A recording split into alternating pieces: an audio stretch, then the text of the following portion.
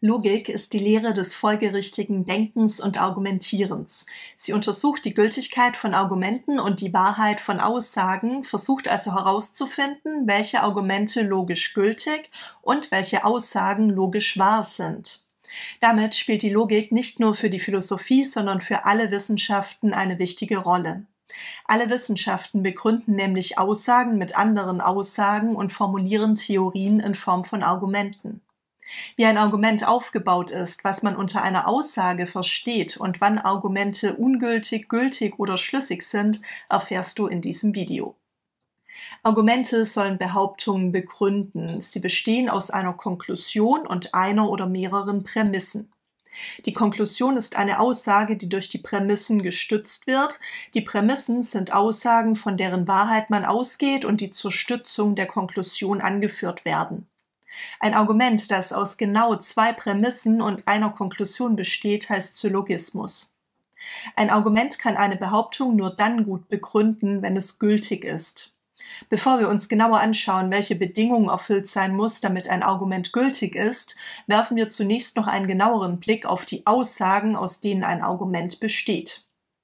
In der klassischen deduktiven Logik werden Aussagen als Sätze definiert, die prinzipiell entweder wahr oder falsch sind. Sätze wie setz dich hin, wie viel Uhr ist es, Mist, es regnet oder ich wünschte, es wäre Sommer sind keine Aussagen. Auch vage Aussagesätze, die weder wahr noch falsch sind, werden in der klassischen deduktiven Logik nicht berücksichtigt. Die Grundannahme der klassischen Logik ist ihre sogenannte Zweiwertigkeit. Diese geht zurück auf Aristoteles und besagt, dass jede Aussage entweder wahr oder falsch ist, beziehungsweise umgekehrt formuliert, keine Aussage zugleich wahr und falsch ist. Ein Argument ist logisch gültig, wenn aus den Prämissen die Konklusion logisch folgt.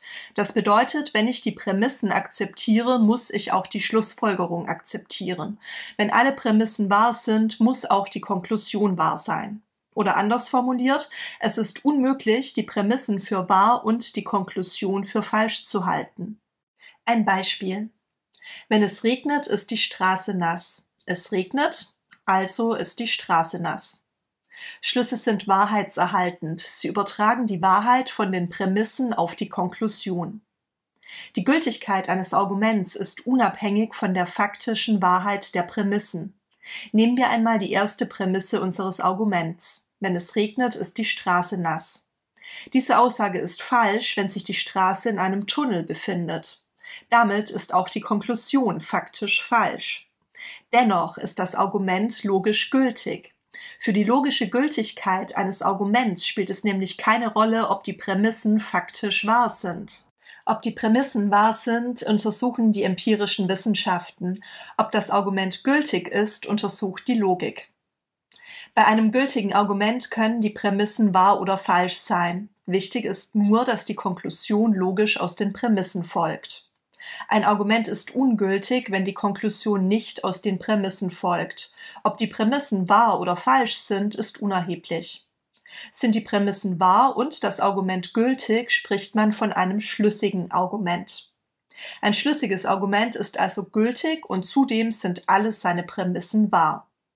Ein Beispiel für ein schlüssiges Argument wäre, alle Menschen sind sterblich, Sokrates ist ein Mensch, also ist Sokrates sterblich. Das Argument, alle Frauen sind dumm, Marie Curie ist eine Frau, also ist Marie Curie dumm, ist zwar gültig, nicht aber schlüssig. Die erste Prämisse ist nämlich falsch. Doch Vorsicht, die Wahrheit der Prämissen sagt noch nichts über die Gültigkeit und damit auch die Schlüssigkeit des Arguments aus. Es können alle Prämissen und die Konklusion wahr sein und dennoch kann das Argument ungültig sein. Zum Beispiel, einige Frauen sind Wissenschaftlerinnen, Marie Curie ist eine Frau, also ist Marie Curie Wissenschaftlerin.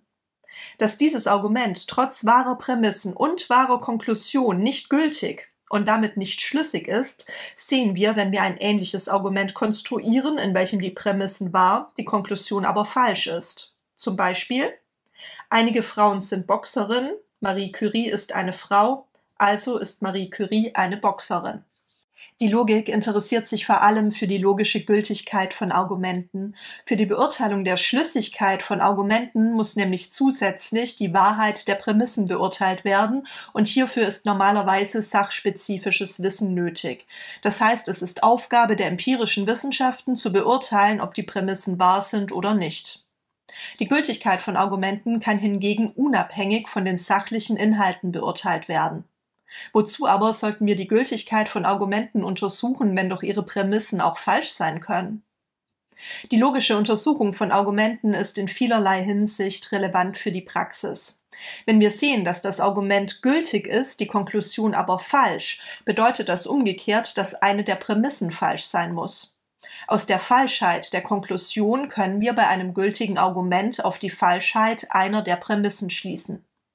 Wenn ich hingegen weiß, dass beide Prämissen wahr sind und das Argument gültig ist, dann muss die Konklusion wahr sein. Lassen sich beide Prämissen empirisch beweisen, kann ich bei einem gültigen Schluss schließen, dass die Konklusion ebenfalls wahr ist. Außerdem ermöglicht die Logik das hypothetische Denken.